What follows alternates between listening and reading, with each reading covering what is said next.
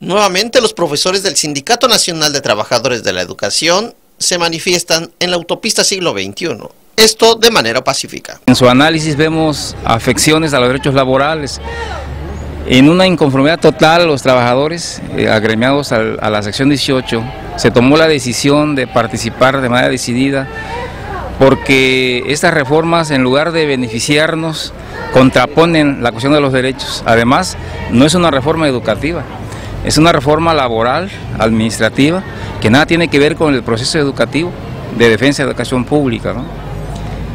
Eh, eh, esta acción que estamos realizando es pacífica, es una acción de libre tránsito, donde la idea central es inconformarnos, que la ciudadanía se dé cuenta de que los maestros responsables, aquellos que han estado en el aula, pues basta ya de estar en el aula porque ahí no resolvemos la situación que se avecina. Sabemos que el día de hoy a nivel nacional eh, Peña Nieto pretende eh, ya dar por, por hecho esta ley que, que lesiona. Además es una ley que no debe ser retroactiva.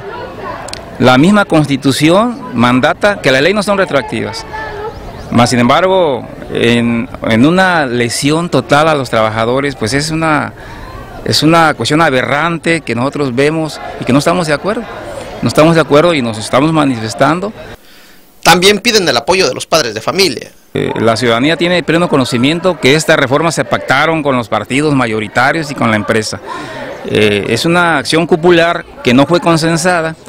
Eh, el hecho de estar aquí mínimamente lesionando la cuestión de la empresa, bueno, este, es mínimo, más sin embargo es el inicio. Esta lucha empieza es una lucha que estamos dando los maestros de la sesión 18 en Michoacán y hacemos el llamado a la sociedad a que participe, a que tenga esa decisión también de que los maestros somos los agentes de cambio, los, los maestros transformamos y los padres de familia tienen que estar al lado de sus maestros. Resaltan que se estarán manifestando en el puerto con una marcha. El día de mañana tenemos una, una marcha plantón en el puerto, donde la idea es hacer llegar un documento con precisiones a Capitanía de Puerto para que ellos también dimensionen la problemática en la cual podemos el día de mañana este, enrolar a la, a la ciudadanía de Lázaro Cárdenas.